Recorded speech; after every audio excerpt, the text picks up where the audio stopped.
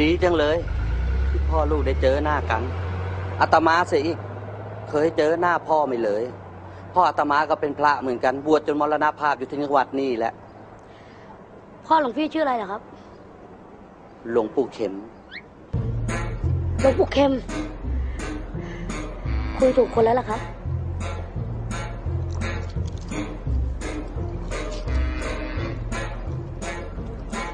อะไรโยม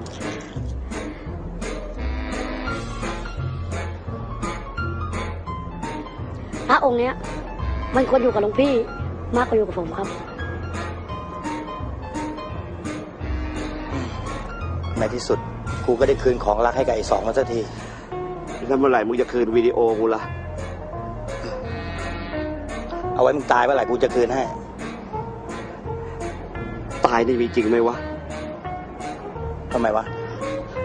สองสามวันนี่กูโดนมันหนักเหลือเกิน ทั้งปืนทั้งมีดทั้งระเบิด ไม่เห็นเป็นเฮียอะไรเลยนี่แหละ ที่เขาบอกว่าโลกไม่มีความยุติธรรม